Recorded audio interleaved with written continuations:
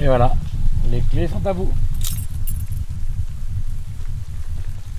Euh, vu que c'est une ancienne ambulance, ça veut dire qu'il y a eu des morts dedans?